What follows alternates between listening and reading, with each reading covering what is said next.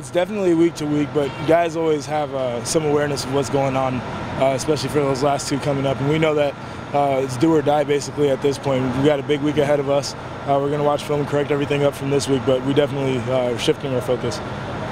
Josh, when you're on the sideline and Zeke's popping off eight, nine yards of carry, uh, he became, I think, the third leading rusher of Donnelly. Is that correct?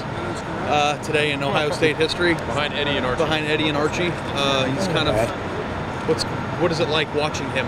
Uh, I mean, the big thing that I like is, uh, you know, I'm on punt team, so when he gets that third down conversion, I don't have to go running out there. So it's kind of a good feeling for me. Uh, the big thing about that is he's a, a really tough runner, rugged guy.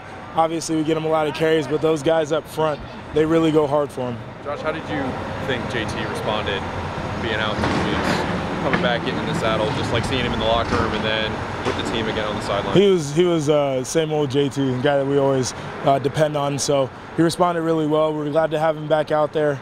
Um, our offense was running today. Uh, you know, it was a really good effort all around.